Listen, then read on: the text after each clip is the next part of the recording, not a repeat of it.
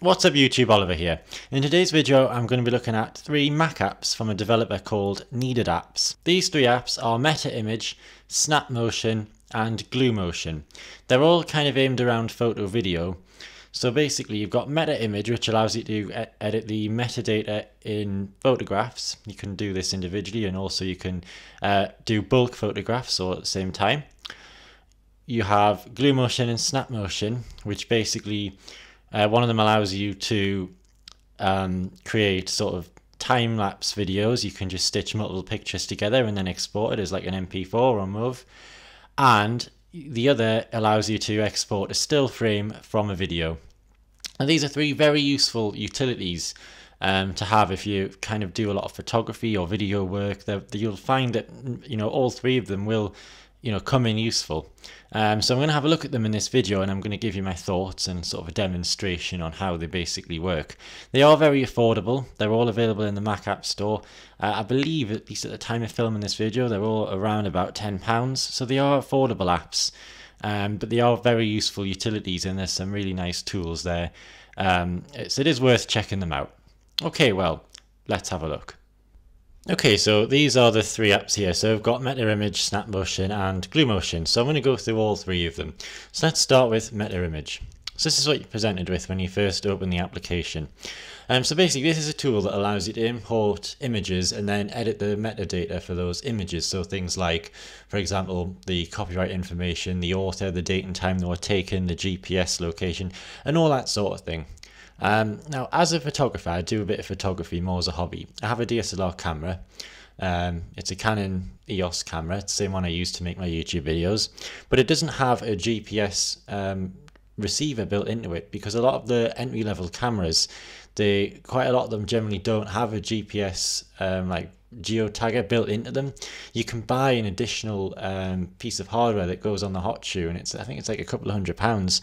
So it is quite expensive, but this tool, like I say, this is a very affordable app. I think it's around about the £10 mark lets you really easily edit metadata and it is handy um, as I'll show you in a minute to be able to do things like add location to your images because if you're using a tool like Lightroom to be able to organize your photography it's much easier to be able to view them sometimes on a map view and then you can quickly go to pictures in a certain location and it just makes it that bit easier. So it is nice. And one other thing is that you can also um, remove metadata from images quite easily if you're going to share them online and you don't want people to know the specifics about what you use to take the images with or the location. Anyway, so you can either drag and drop images or click to import them. So here's some pictures. I'm just going to import um, these. These are all pictures I took myself. I'm just going to import some of them. And basically when the pictures all load in, they're down here at the side. Now, what you can do is you can basically go through all of these um, and it gives you all the information. Obviously the preview is just showing you what the image looks like. It's not going to be high resolution image. It's just about editing the data that's attached to them. And basically um, you can go through these and you can change the data. So as you can see, the standard things is stuff like the camera make, model, um, date and time,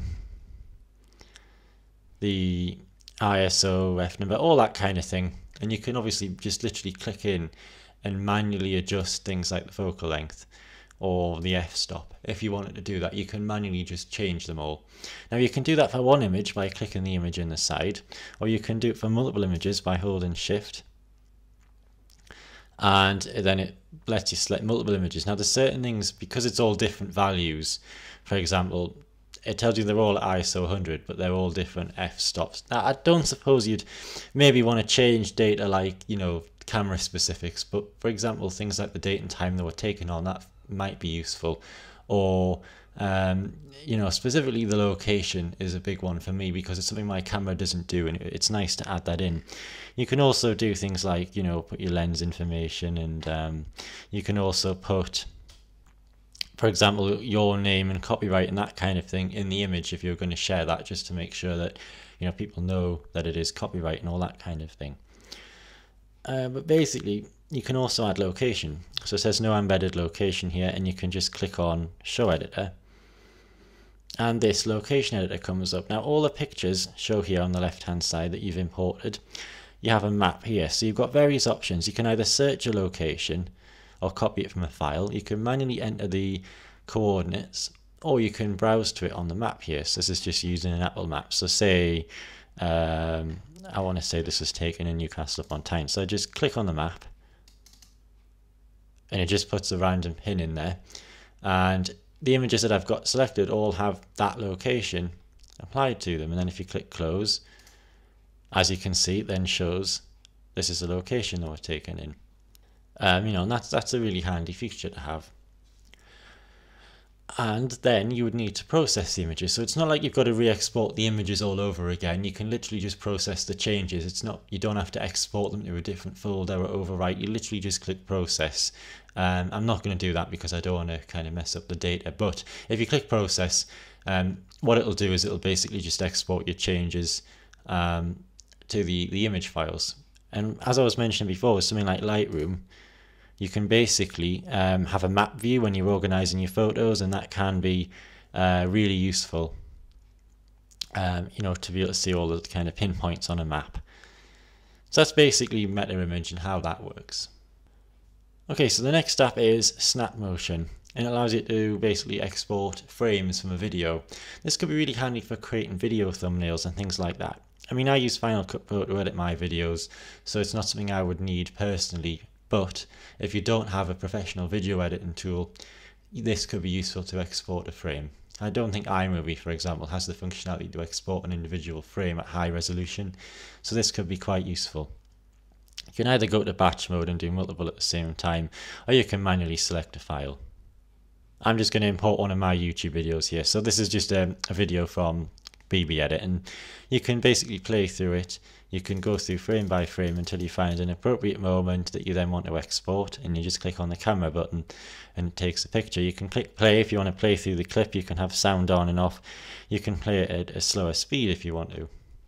You can click here to set specific start and end time and then include frames. So you can automatically just generate between say a certain time you want to export every frame. You can automatically generate every frame and that sort of thing. So there are lots of options and like I say you basically just click the picture button and then it exports it down here and you can do whatever you want with that you can export and share it and it does as I say allow you to therefore export a very specific frame of a video um, and that's something quite handy to be able to do you can just export as all these different formats you can actually create an animated GIF as well from if you have you know a number of frames from a video that you want to put into a GIF, you can, you can export that. It's a really really handy feature there, as well as copying it and that sort of thing. So there's a lot of nice features. Um, you know, really useful tool there for going through a video file and exporting a certain frame. Um, again, it's quite a straightforward tool. There's not a lot to it, but it is very nice. You know, it's a very good price and it's a useful utility to have if you do a lot of video work. It is useful to be able to pull out certain frames. Um, so yeah, generally it is a useful tool. And finally, we're going to have a look at GlueMotion. So GlueMotion is, you could almost say it's a bit like the opposite of SnapMotion because instead of creating frames from a video, you basically put frames into the software and it generates a video file from that. So it could be, you know, a nice way to create a, um, a time-lapse video but you could also use it for, for numerous things. You could import lots of photographs you took on a day out and export a video file that you could create as a slideshow. You know, if you just really quickly want a movie file um, which has all your pictures in and you don't have to do much work because you could import them all manually into Final Cut or, you know, whatever and make a slideshow that way. But this is just a really quick and easy way of importing lots of frames and then just quickly exporting a video from that. And you've got a lot of advanced functionality as well. So it is quite a nice tool. So let's have a look. We can just go to add. Um, we'll just use those same images again.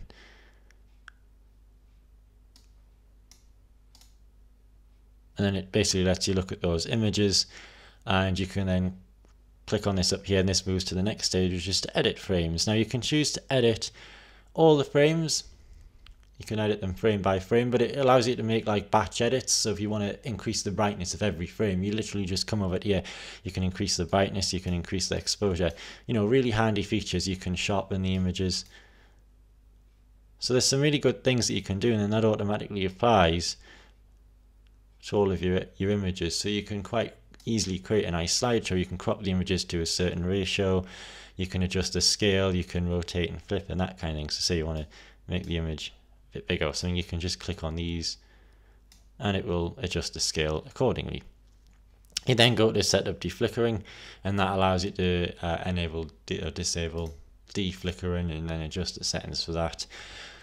And uh, I believe it's just to do with when you're putting lots of frames together, if the frames don't quite match up and you're putting them together in quite a fast video, it might look a bit flickery um, the kind of transition between the frames because you can use this to create like a 30 frame per second video um, and obviously if you've got lots of images it might not work very well so you may want to you know be able to adjust the sort of deflickering to kind of have a bit of a smoother transition between frames and then you go to setup encoding which is the final stage and you can give it a file name you can choose where you want it to export to and you basically have three different file options you've got MOV, MP4 and M4V uh, you can choose your codecs. You can have Apple ProRes, um, the high efficiency video codec. You've got the H.264 and also a JPEG.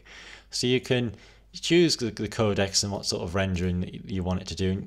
This allows you to specify the frames per second. So if you had thousands of frames, if you're making a big time-lapse video, you would obviously maybe have it like 25, 30 frames a second, which is like a standard frame rate, say for a YouTube video.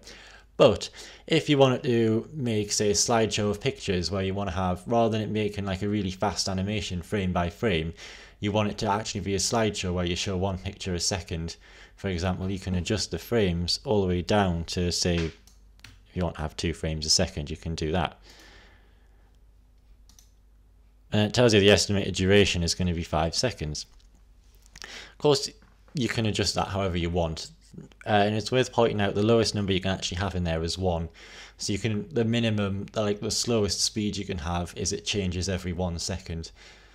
I suppose it's not really designed as a as a tool to create photo slideshows, so you couldn't have it stay on for five seconds. It would be fairly quick. It's it's not so much designed as like a, a presentation tool, more as something to create animations where you're going to have lots of frames quickly. But you could use it for things other than time lapse. Um, and one other thing is that this particular application, GlueMotion, has a dark theme and the other two have light themes. There's no way to adjust the color scheme, but to be honest, I'd quite like to see dark mode available for the other two because I'm quite a fan of dark apps and it'd be quite nice to see MetaImage and uh, SnapMotion also have the option to turn on this sort of dark mode, uh, especially with Mojave coming soon. Maybe we'll see that, I don't know. But yeah, basically that's how um, GlueMotion works. Well, as always, all the links will be in the video description. If you have any comments, please do leave them in the comments section. I'll do my best to answer your questions. If you like the video, please do thumbs up. And if you do enjoy my videos and you'd like to see more like these, please do subscribe to the channel and feel free to share the video. Well, I hope you enjoyed it. Thanks for watching and bye for now.